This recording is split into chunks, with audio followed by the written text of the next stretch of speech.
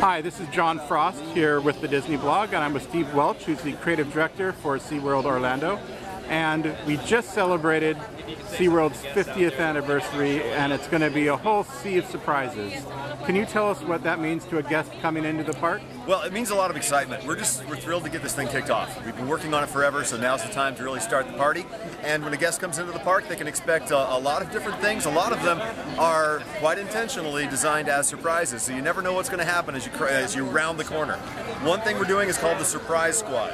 This is happening every day for the next 18 months, and that means that we have some really colorfully dressed, really cool people out in the park, and they go out and they meet our guests.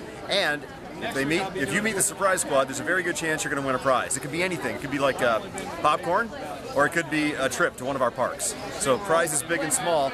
Surprise squad's happening for the next 18 months. That's kind of a big deal. Um, we have a lot of new atmosphere talent in the park too. So we're excited to premiere uh, the Bubble Blowout, which opens actually right now. It was going on uh, over in the front area, and uh, it's it's a really cool new comedic uh, atmosphere act that we have, and uh, I think everybody's going to love it. Uh, Splash Dance, very similar, musically driven, and a lot of fun. These are happening periodically throughout the day, and uh, there's a whole lot more. Obviously, you know, we're uh, we're making waves throughout the next 18 months and beyond, and uh, you know, today with the kickoff, you know, these new acts, the Surprise Squad, and all of these different elements are finally coming to life. Excellent. Thank you so much. You bet. And I'm here with Corey, who is the senior trainer here at SeaWorld Orlando. You've been with the park for 11 years, and now we have a 50th Sea of Surprises. Can you tell us what the guest is going to see as far as um, animal experiences in the park?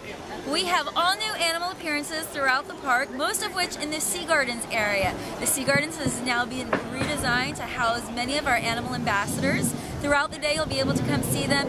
Uh, most of these animals were rescued and have amazing stories to tell, so come learn about the animal stories and also see our Washed Ashore Project art sculptures, which are larger than life art sculptures made out of trash that was washed ashore.